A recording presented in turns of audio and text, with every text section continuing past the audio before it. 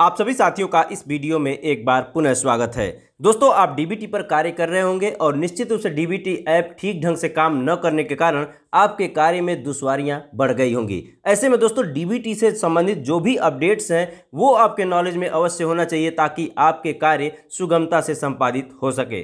दोस्तों, अब हम बात कर लेते हैं अपडेट की। तो जो वर्तमान में आप प्रेरणा डीबीटी ऐप यूज़ कर रहे हैं, इसका वर्जन जो है, वो है 1.0.0.11 यानी 11 नंबर का वर्जन आप यूज़ कर रहे हैं। वर्तमान में अब इसका ट्वेल्थ वर्जन आ गया है। यूट्यूब सेशन के बाद बताया गया था कि एक घंटे बाद ही ये लाइव हो जाएगा, लेकिन कल का दिन निकल गया और आज का भी दिन निकल गया। इस समय जाके ये अपडेट हुआ है और बारहवा वर्जन आ चुका है। इसके लिए आपको करना क्या होगा?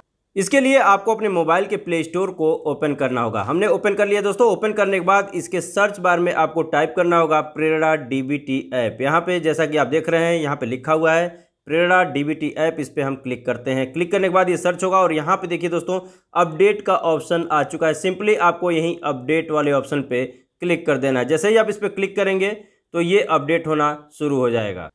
दोस्तों, अब आप देख सकते हैं कि अपडेट का ऑप्शन यहाँ से जा चुका है और यहाँ ओपन का ऑप्शन आपको मिल चुका है। इस तरह से आपको 12 नंबर का जो वर्जन है, वो आपके मोबाइल में इंस्टॉल हो चुका है। अब आसानी से यहाँ ओपन करके अपने कार्य को आप कर सकते हैं। इसमें निश्चित रूप से इस ऐप में कुछ इंप्रूवमेंट हुए होंगे। जो समस्याएँ आ रही थी, उसमें कुछ हद तक इसमें समाधान किया गया है। तो इसको आप ओपन करके अपने डी का कार्य सफलतापूर्वक पूर्ण कर लें। तो दोस्तों, ये था छोटा सा अपडेट। अगर वीडियो अच्छा लगा हो तो लाइक कीजिएगा। चैनल पर पहली बार आए तो प्लीज़ मेरे चैनल को सब्सक्राइब कर लीजिएगा। मिलते हैं नेक्स्ट वीडियो में। तब तक के लिए नमस्कार।